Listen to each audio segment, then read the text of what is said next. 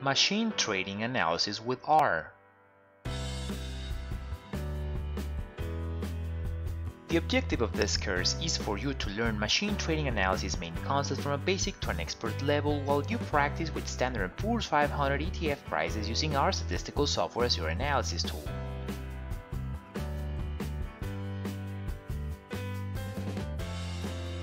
At the end of this course, you will be able to define target and predictor algorithm features for supervised regression machine learning tasks.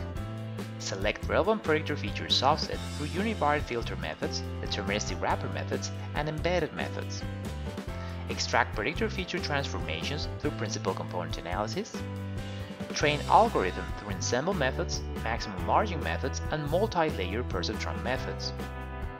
Test algorithm through scale-dependent and scale-independent metrics, calculate machine trading strategies for algorithms with highest forecasting accuracy, and evaluate machine trading strategies performance against buy and hold benchmark using annualized return, annualized standard deviation, annualized Sharpe ratio metrics, and cumulative returns maximum drawdown charts.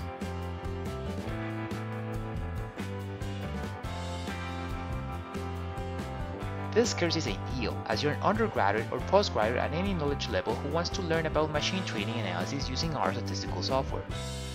You're a finance professional or academic researcher who wishes to deepen your knowledge in computational finance.